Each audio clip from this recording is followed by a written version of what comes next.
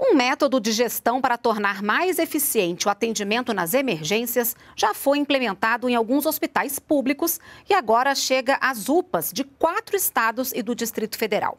O projeto começou no final de março.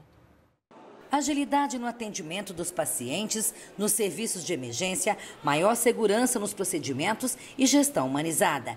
É o que propõe o método LIAN, um processo de gestão que o Ministério da Saúde, em parceria com a Universidade Federal Fluminense, começou a implantar em 50 unidades de pronto atendimento do país. A gente vai ter como foco reduzir os desperdícios, avaliar é, melhoria de processos no qual o tripé é trazer agilidade no atendimento, é, segurança nos processos de atendimento e uma maior resolutividade. As pessoas têm que ser bem acolhidas é uma das questões que a gente é, conversa muito com os profissionais, acolher esse paciente, que muitos pacientes vêm na unidade até para buscar informações acerca de, é, desse novo coronavírus, né? Por causa da pandemia do novo coronavírus, as 50 primeiras UPAs foram escolhidas, levando em conta os estados onde há mais casos da doença. Mas o Ministério da Saúde pretende expandir essa metodologia de gestão para todo o país. O período de implantação do projeto